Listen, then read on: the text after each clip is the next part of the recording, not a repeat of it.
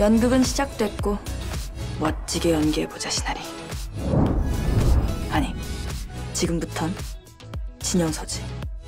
진영서. 진영서 씨? 네.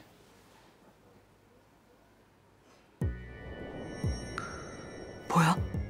왜 이렇게 잘생겼어? 쩌는데? 진영서 씨 맞죠? 네. 앉으시죠.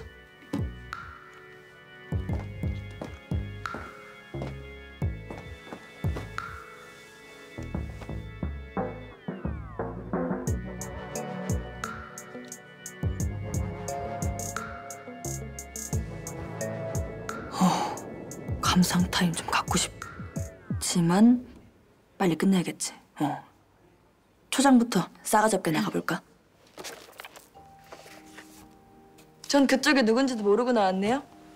성함이? 강태무라고 합니다. 뭐야? 강 뭐야? 강태무. 강태모. 읍스. 음. 강태모.